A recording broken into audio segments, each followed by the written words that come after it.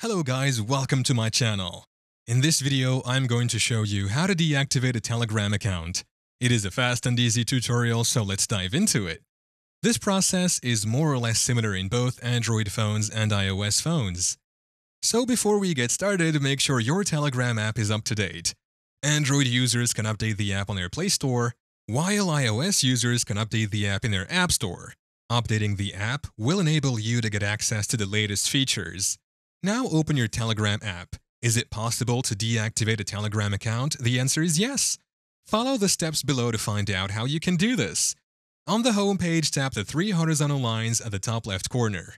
Here, click Settings. Under Settings, scroll down a little bit.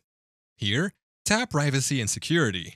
Now scroll down until you see the option Delete My Account. Here, you will see the option If Away and it's 6 months. Tap on 6 months.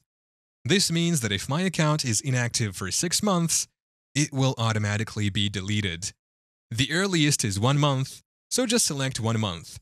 All you have to do now is stay inactive for 1 month. When it hits 1 month, your account will be deactivated and deleted. That's all. Thank you for watching. If this video was helpful, please leave a like and subscribe to my channel for more videos like this. And click on that notification bell to never miss an update.